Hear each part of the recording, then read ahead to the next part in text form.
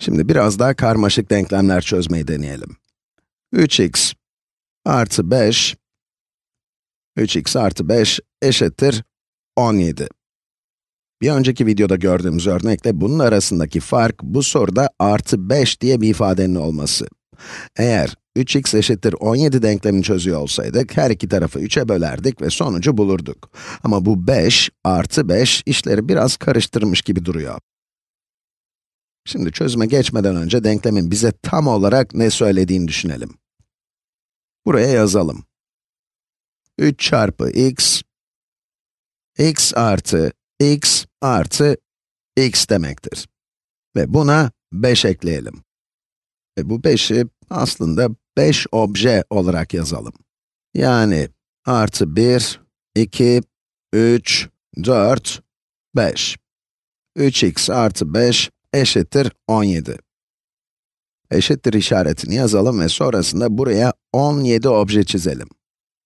1, 2, 3, 4, 5, 6, 7, 8, 9, 10, 11, 12, 13, 14, 15, 16, 17. Şimdi bu iki şey, bu iki ifade birbirlerine eşit. Yani bu tarafa her ne yapıyorsanız, diğer tarafa da aynı işlemi uygulamak zorundasınız. Eğer buradan bir obje çıkarırsanız, buradan da çıkarmalısınız ki eşitlik bozulmasın. Peki şimdi sol tarafta sadece 3x'in olduğu, yani 5'in artı 5'in olmadığı bir şekle ulaşmak için, denklemin her iki tarafına da ne yapabilirim? Mesela bu 5 objeyi buradan çıkarabiliriz. Evet, bu 5 objeyi buradan atabiliriz, değil mi? 1, 2, 3, 4, 5. Ama dediğim gibi, daha önce dediğim gibi, eğer sol ve sağ tarafın orijinal hali birbirine eşitse, ilk hali birbirine eşitse ve 5 objeyi sol taraftan çıkarıyorsam, aynı şekilde sağ taraftan da çıkarmalıyım.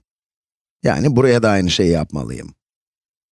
1, 2, 3, 4, 5. Şimdi bu 5 objeyi buradan uzaklaştırmanın sembolik olarak gösterim nedir? Denklemin her iki tarafından da 5 çıkarıyorsunuz. Yani sağ ve sol taraftan 5 objeyi uzaklaştırırken, atarken yaptığım şey tam olarak bu. Sol taraftan 5 obje çıkarıyoruz ve ayrıca sağ taraftan da 5 obje çıkaracağız. Aynı işlemi sağda uyguluyoruz. Şimdi bu denklemin sol tarafı ne oldu? Sol tarafta 5 eksi 5 var ve bunlar birbirini yok eder. Elimizde sadece 3x kalır. Evet, sol tarafta sadece 3x kaldı. 5 ve negatif 5 birbirini yok etti. Burada gördüğünüz gibi 5 objeyi çıkardığım zaman elimde sadece 3x kaldı. Zaten 5 çıkarmamızın tek sebebi de 5'i buradan uzaklaştırmaktı. Bu durumda eşitliğin sağ tarafı ne oldu? Yani 3x eşittir, tam olarak bunun altına eşittir işaretini koyalım. 17 eksi 5, 12 eşittir. Ya da burada kalan objeleri de sayabilirsiniz. 17 objem vardı ve 5'ini aldım. Yani 12 objem kalmış oldu. 1, 2, 3, 4, 5, 6, 7, 8, 9, 10, 11, 12. Çıkarma işlemi demek bu demek. Yani 5 tane şeyi, 5 tane objeyi bulunduğu yerden uzaklaştırmak, oradan atmak. Şimdi denklemimiz çok daha anlaşılır bir şekle dönüştü. 3x eşittir 12. Şimdi yapacağımız tek şey denklemin her iki tarafını da 3'e bölmek. Böylece sol tarafta sadece x kalmış olur. Daha güzel bir renk seçeyim. Pembeyle yazalım burayı. Sol tarafı da sağ tarafı da 3'e böldük. Ve sol tarafta artık bu objelerin hiçbiri olmadığından dolayı onları görmezden gelebiliriz. Aslında bu kısımları silelim ki bir daha bunlara bakmak zorunda olmayalım. Eşitliğin her iki tarafından da bu objeleri çıkardık. O zaman bunları silelim. Buradakileri silelim. Bu taraftakileri de silelim. Tamam, şimdi her iki tarafı da, her iki tarafı da 3'e bölüyoruz dedik. Sol tarafı 3'e böldük. 1, 2, 3. Her birinin içinde x olan 1x olan 3 tane grubumuz var. Eğer sağ tarafı da 3'e bölerseniz, 1, 2, 3 grubunuz olur. Yani her birinin içinde 4 obje olan 3 grubunuz olur. Burada matematiksel olarak işlemi yaptığımız zaman bu üçler birbiriyle sadeleşir, değil mi? 3 çarpı bir şey bölü 3, o şeye eşittir, kendisine eşittir. Ve son durumda x'in 12 bölü 3'e, yani 4'e eşit olduğunu bulduk. x eşittir 4 sonucuna ulaştık. Ve aynı sonuca buradan da ulaşabiliriz. 3x'i gruplara böldüğünüzde her birinin içinde x olan, 1x olan 3 grup elde etmiştiniz. 12'yi 3 gruba ayırdığınız zamansa her bir grupta 4 eleman olur ki, bu durumda x 4'e eşit olmak zorundadır. x eşittir 4. Şimdi başka bir denklem çözelim. Bu sefer denklemin tam olarak ne anlattığını buradaki gibi çizmeyeceğim. Ama bu çözümün de aslında aynı süreci gerektirdiğini anlayacaksınız. Ekranı biraz aşağı kaydıralım. Elimizde 7x var. Şimdi biraz daha karmaşık bir denklem yazacağım.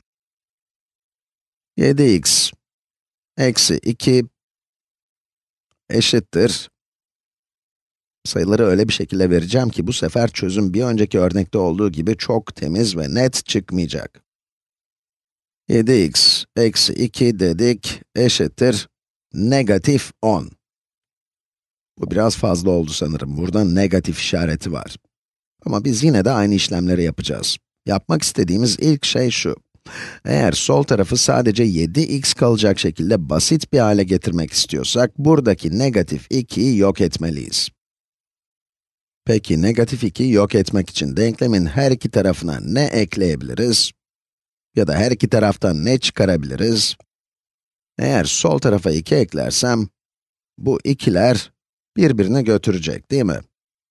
Ama hatırlayın, bu, buna eşitti. Eşitliğin bozulmamasını istiyorsanız ve sol tarafa 2 eklediyseniz, sağ tarafa da aynı işlemi yapmak zorundasınız. Yani, sağ tarafa da 2 ekleyeceğiz. Şimdi eşitliğin sol tarafının yeni hali ne eşittir? 7x negatif 2 artı 2. 0 eder. Artı 0 yazabilirim ya da hiçbir şey yazmayabilirim, değil mi? Hiçbir şey yazmayacağım. Yeni denklemimiz 7x eşittir negatif 10 artı 2'dir. Pekala. Negatif 10 artı 2 neye eşittir? Bu aslında negatif sayılarda toplama ve çıkarma konusunun iyi bir tekrarı olacak. Hatırlayalım. Hemen buraya sizin için bir sayı doğrusu çizeyim. Burası 0, burası 1. Pozitif yönde ilerlemeye devam edelim. Negatif 10 diğer taraftadır, değil mi? Negatif 10, negatif 9, negatif 8, negatif 7. Burada bir takım sayılar var tabii değil mi? Başka sayılar da var. Bunları nokta noktayla gösterelim. Hepsini çizmek için yeterli alanımız yok. Ama negatif 10'dan başlıyoruz ve 2 ekliyoruz. Yani sayı doğrusunda pozitif yönde ilerliyoruz. 1, 2 nokta ilerledik ve şu an negatif 8'deyiz. Aklınız karışmasın, sakın 10 artı 2, 12 ise negatif 10 artı 2 de negatif 12'dir gibi bir şey demeyin. Hayır, negatif 10 eksi 2 negatif 12'dir çünkü negatif yönde ilerlersiniz. Burada elimizde negatif bir sayı var ama sağa doğru ilerliyoruz. Pozitif yönde ilerliyoruz. Bu durumda negatif 8'e ulaşırız. Yani 7x eşittir negatif 8. Şimdi bu tarz bir problemi nasıl çözebiliriz diye soruyu alabilirsiniz. Burada bir negatif sayı var. Ama bu problemde tam olarak bir önceki problem gibi yapacağız. Bir önceki problem gibi çözeceğiz. Eğer sol tarafta sadece x'in kalmasını istiyorsak, sol tarafı 7'ye bölmeliyiz. 7x bölü 7 birbiriyle sadeleşir ve sadece x kalır. Eğer 7'ye bölerseniz bunlar sadeleşir. Ama bu işlemi sadece sol taraf için yapamazsınız. Eşitliğin bozulmaması için sol tarafa ne yapıyorsanız, sağ tarafa da aynısını yapmalısınız. Öyleyse sağ tarafı da 7'ye bölelim.